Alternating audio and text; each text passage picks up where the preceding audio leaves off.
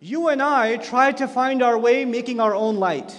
But then Allah gives His light. Allah's lamp is the sun for us. That's not the light we turn on, that, that's the one Allah turns on. That's the one we don't pay the electricity bill for the sun. You know, there's no oil being used up to light up the sun from us. That's the one Allah turns on. And when He turns His light on, then all of our lights are unnecessary. All of them become unnecessary. Isn't that true? Okay, that's in the physical sense, right?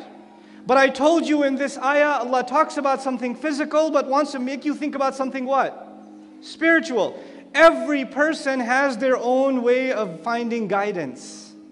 Every person has their own philosophy. Every person has their own definition of right and wrong, their own conscience. And they could be slightly different from each other. Everybody's got their own little light. And then the light of revelation comes. And guess what? Your light is irrelevant now because the perfect light is here.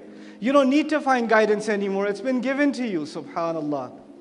Allah is the light of the skies and the earth. How are you going to compare?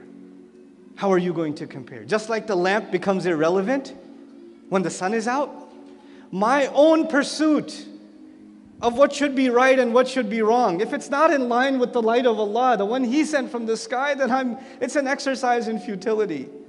What's the point of it? Another point about the light of the skies and the earth, because a lot of scholars, when they said, How do human beings experience Allah's light? They experience it through the sun, through the moon.